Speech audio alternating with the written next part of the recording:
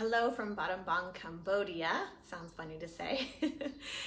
um, so in the last couple weeks, I have completely gotten off my exercise routine um, from leaving Hoi An and having lots of uh, celebrations and to going to Siem Reap and seeing the temples.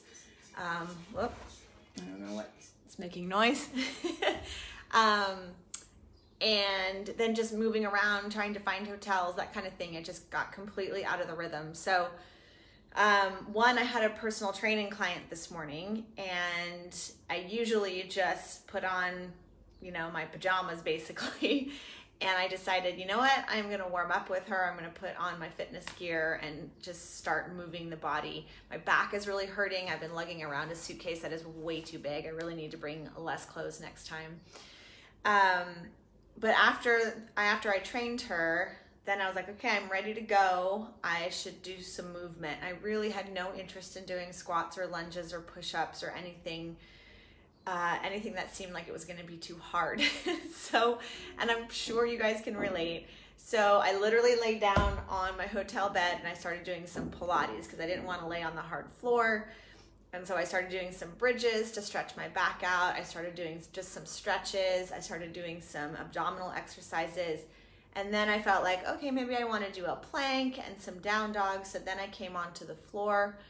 And then that kind of turned itself into a yoga workout really light i mean it probably i probably did 20 minutes of movement my back already feels so much better and it's just wanted to share and kind of hope to inspire you that if you've gotten out of your rhythm of exercise that it doesn't mean you need to go jump back into your spin class or your Orangetheory workout and be super aggressive with it.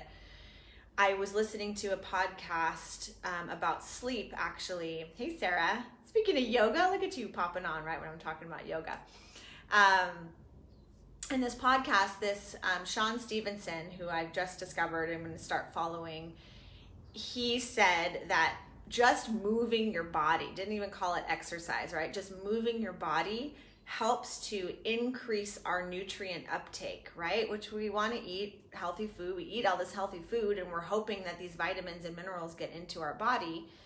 Um, and so moving the body literally is helping that digestion process and it also helps with elimination and being a traveler uh, you know it's important to, to keep things moving uh, no matter what you are traveler or not. Um, so just those basic two of thinking like yes move our bodies are designed to move and it's going to help in these other processes of health. And so really it was just that little click that said okay you need to start moving your body again. And that's when i started um, my very mellow and it wasn't even a routine. So i you know, if you don't have, I mean, obviously I have a repertoire of exercises, maybe more than most, and I'm pretty comfortable with yoga, so I can just kind of do whatever comes to mind. But there's all sorts of videos on on YouTube, you know, that you could you could just do something, maybe even it's just a stretch routine. I also have been on my weekly newsletters giving a weekly circuit, and I just do four exercises, and there's a little GIF video of me doing them and so you could save those and archive those and you know use those as reminders for exercises to do. So that is all. Put in the comments what exercise you have done today or if you haven't if you're planning to for the rest of the day or tomorrow.